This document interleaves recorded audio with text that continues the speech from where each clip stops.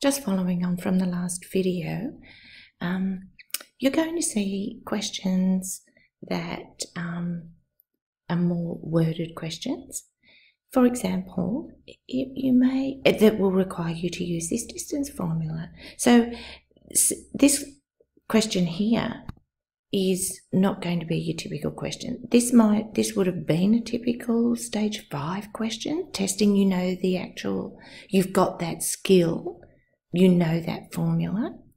You're going to be given the formula on the formula sheet, so there's no test of you being able to recall that formula. So this is no longer, and substituting into a formula is also um, not a skill, is a skill you, you're expected to have. It's going to be questions like show that a point lies on a circle, centre, and you're given detail about that. And you might be thinking, well, what does that have to do with the distance formula, show that a point lies on a circle.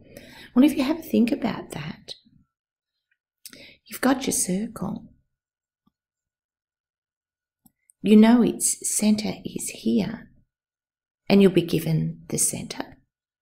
It's you know that if this point down here, it's also on our number line, is on the circle, the distance between the center and this point, the distance, that will be equal to the radius. So there's obviously going to be uh, features about the circle that you must be given. You'll have to be given its center. You'd have to be given its radius. But it's then applying the understanding of a circle, its center, what being on the circle means, and to this distance formula. You might never have used this distance formula in association with a circle before. But that doesn't mean that you can't. And that doesn't mean that there aren't questions that could be set such that it requires you to apply the distance formula to a circle. I'd encourage you to be on the lookout and identify length length and distance. That shouldn't be too foreign to know that if you're reading through a question, you don't see the word distance, you do see the word length, then you still make the association between length and this formula. Uh, dimensions, dimensions of those um, shapes that I was talking about. So you might be asked to find the, the um, area of a rhombus, knowing that the dimensions required are the diagonals. Half the product of the diagonals is the formula for the area of a rhombus. So you need the dimensions of a rhombus. You might be given them and to, um, or you might be given the points uh, on the rhombus. You're required to get the dimensions yourself. And equidistant, equally distant. Um, of, I, I, would be surprised if that word distant didn't um, connect you to your distance formula. Um, I'm not going to spend so much time talking about some of these. I'll write them up. They'll be here on um, the notes section of your OneNote. So you can sit and work through the solution. Um, if I come to any that I feel that need an explanation, then um, they will be here on this video. So with this first example, you can see I've written label the points x1, y1 and x2, y2. I'm going to be really disappointed, I think, if I don't see this happening throughout the work in uh, that you do out of the textbook. So in your working, your workbook, um, and then also in topic tests and assessment tasks. Many students say uh, after they get a formal assessment task back or a topic test back. Oh, but I knew that. I knew that work. Oh, I just made a careless mistake. These will be little techniques that stop you from being careless. They keep you focused. They keep you on track. These are the things you need to be practicing every time you do a question, such that it becomes automatic in a topic test or in an assessment task when you're under pressure. It will keep you more focused when you're under pressure. It will keep you calmer under pressure. You've got nice um, routines that you've been practicing. You'll just fall into that nice routine in the assessment task. You're less likely to be careless. You're less likely to make silly mistakes. However, it's not going to just happen in the assessment task unless you practice it throughout the whole chapter before the topic test. You practice it before the assessment task. This is not something setting out doing these, assisting yourself with these little aids are not something that are going to come to you automatically in an assessment task if you haven't practiced them. There are no extra marks or rewards for students who take shortcuts.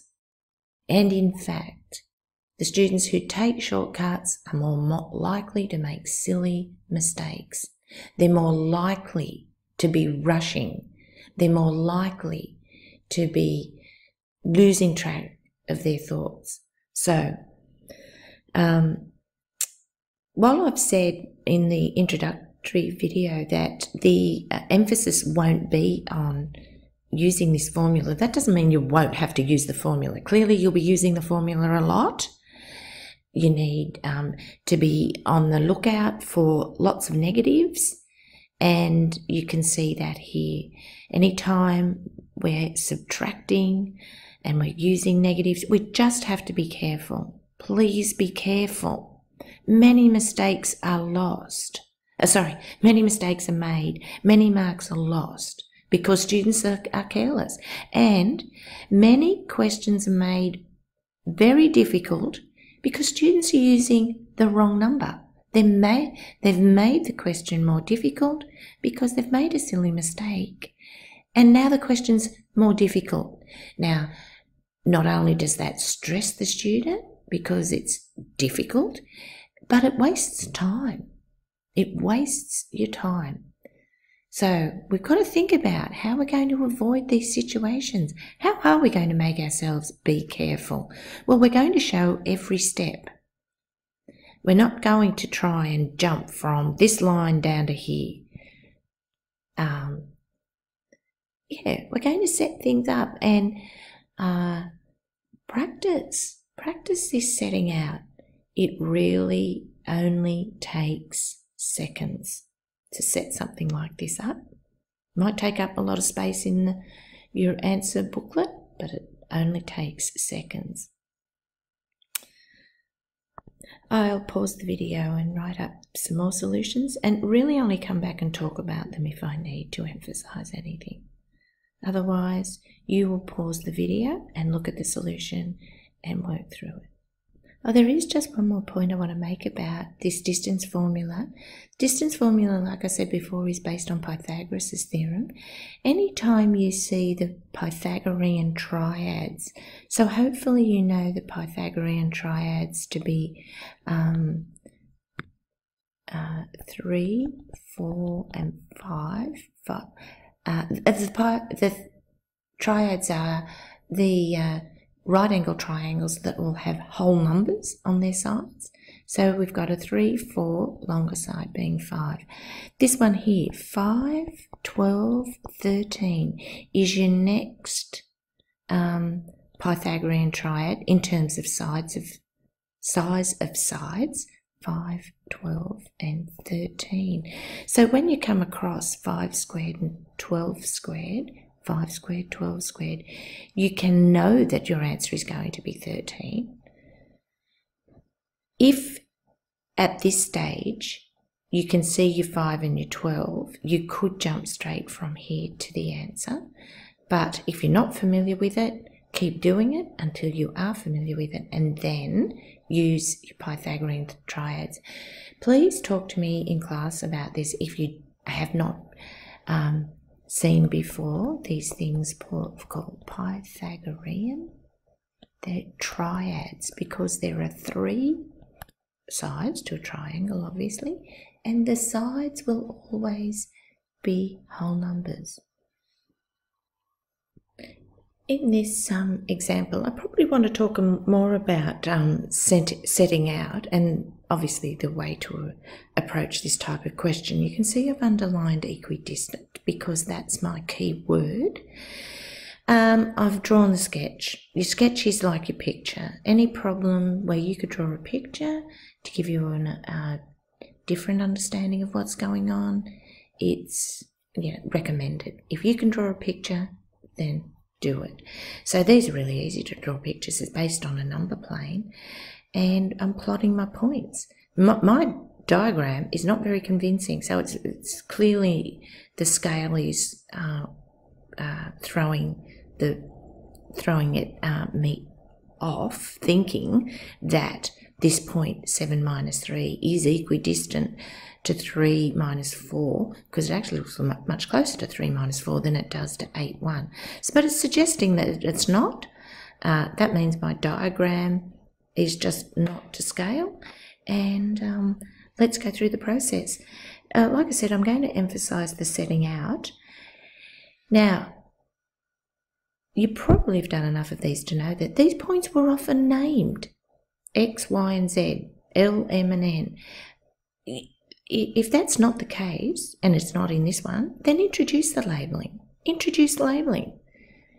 It's, it makes my setting out so much easier.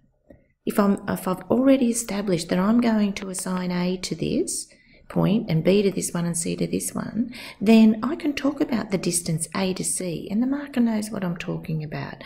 I've listed my A and C. I've put my X1, Y1, X2, Y2 underneath and the formula and so on and I get root 17. Then I'm saying to the marker, I now know that I need to find the distance from B to C.